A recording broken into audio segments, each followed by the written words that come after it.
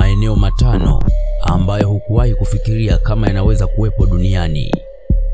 Dunia hii ina maajabu kibao ambayo masikio wala macho yako hayajawahi kuona. Sasa basi, leo nitakustaajabisha kidogo kuhusu baadhi ya maeneo ambayo hukufikiria kama yanaweza kuwepo katika dunia hii ambayo tunaishi sisi.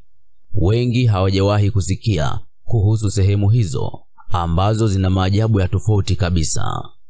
Dunia hii imezungukwa na maajabu kila sehemu, ila leo nataka kukuletea sehemu tano ambazo zina muonekano wa kustaajabisha.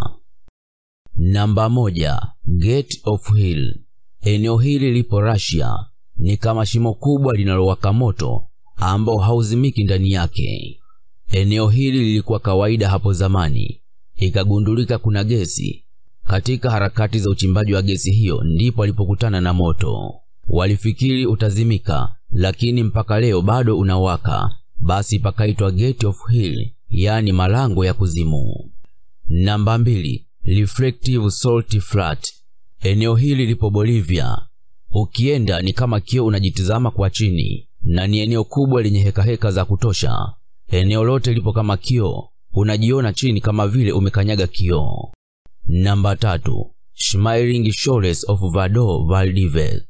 Hii ni bichi ambayo maji yake ni ya kawaida, lakini ukiagusa au yakapigwa na upepo yanakuwa na rangi kama ya shoti ya umeme. Hata ukitizama mawimbi yake ni hivyo hivyo. Namba nne, Pink Lake Hilia. Eneo hili lipo Australia. Tumezoea kuona maji ya ziwa au bahari yakiwa na muonekano wa rangi ya bluu, japokuwa maji kama maji, wataalamu wanasema hayana rangi. Eneo hili maajabu yake ni kwamba ziwa hili lina muonekano wa rangi ya pinki, kitu ambacho si cha kawaida. Tukamilisha na namba tano, Volcanic Lightning Iceland.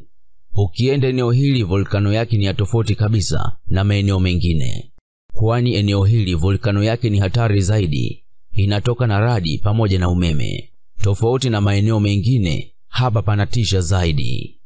Na haya ni mambo matano ambayo hukuwahi kufikiria kama yanaweza kuwepo duniani. Ni kwa ufupi, japokuwa kuna mambo mengi zaidi. Basi kwa makala kama hizi usisahau kusubscribe, kulike, kushare na kucomment.